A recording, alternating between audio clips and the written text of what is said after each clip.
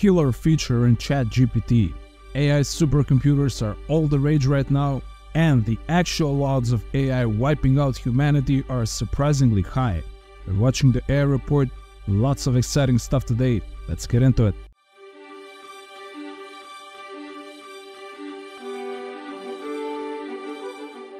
We have a new, very exciting feature for ChatGPT Plus users. Custom instructions let you set personal preferences for your ChatGPT that will be considered in every prompt.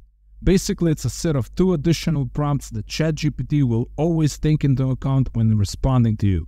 This is so cool. It will save so much time and it effectively raises the token limit and makes the tool very easy to use. I will make a video going into more detail on this. You should see a link to it near the top here right about now.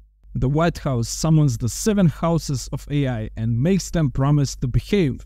Amazon, Anthropic, Google, Inflection, Meta, Microsoft, and OpenAI have all been called to a meeting. They will comply with the requirements of the White House for safer AI, including investments in cybersecurity, reducing discrimination, and watermarks for AI generated content. The last one is the most important requirement right now, in my opinion. It will play a major role in stopping disinformation and propaganda. Next, one of the weirdest things I've heard lately, and I cover AI news, so my threshold for weirdness is kinda high. Computer chip with built-in brain tissue has demonstrated something similar to sentience and is now getting military funding.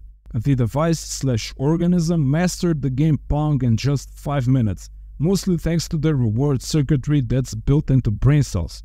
The project got funding for further research and it may be used in artificial intelligence. So basically, we're gonna have humanoid robots or robotic humanoids, probably in about a decade.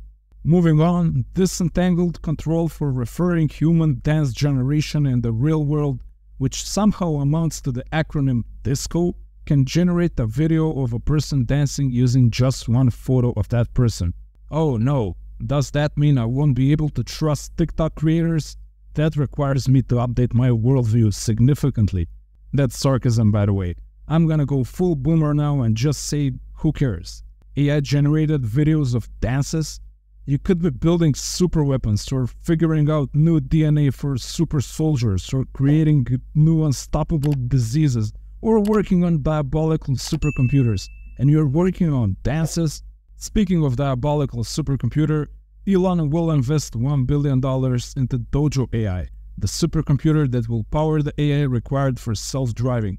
Yeah, this sounds like Elon. He usually wants to own the entire supply chain and not depend on anyone else, which always requires more work, but it usually pays off, especially for a guy that can execute like him. That said, this time it seems like he would rather collaborate with Nvidia when it comes to AI chips, but they're already overbooked.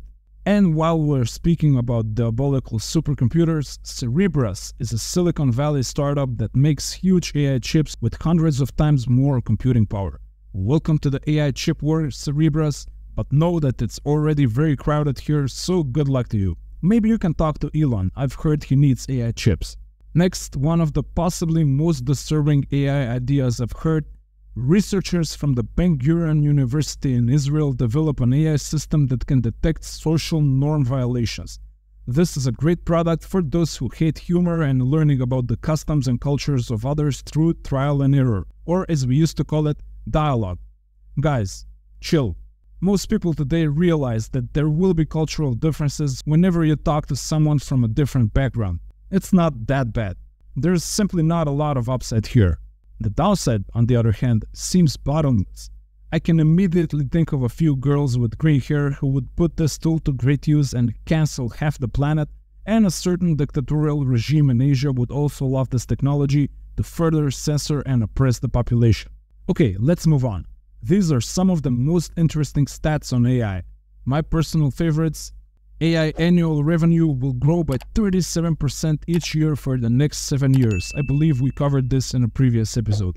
91% of leading organizations are investing in AI activities. 97% of business owners believe that ChatGPT will have a positive effect on their business.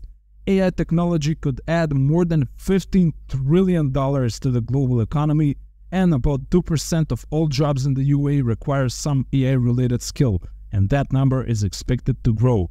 And finally, while we're talking numbers, the betting markets estimate that currently there's about a 17% chance that AI will wipe out humanity by 2030. This is a surefire way to make some money. Just bet that AI won't wipe out humanity and wait until 2030. And if you lose, well, you have much bigger problems than losing this bet.